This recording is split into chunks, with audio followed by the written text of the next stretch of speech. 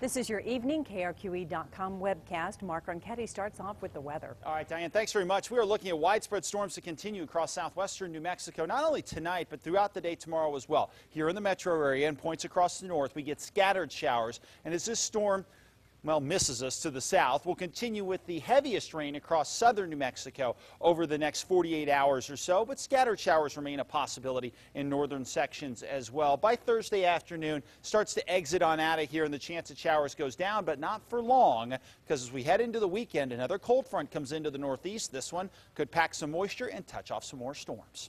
Albuquerque police are looking for a man who attacked a girl as she walked to Eldorado High School this morning. Sources tell us the girl claimed that she was raped in an arroyo that is next to the campus.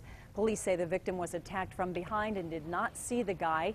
Investigators have a person of interest they want to question. He is between 20 and 25 years of age, about 5 foot 4, blue eyes, a brown crew cut, and tattoos. Sources say he is a homeless man who frequents that area.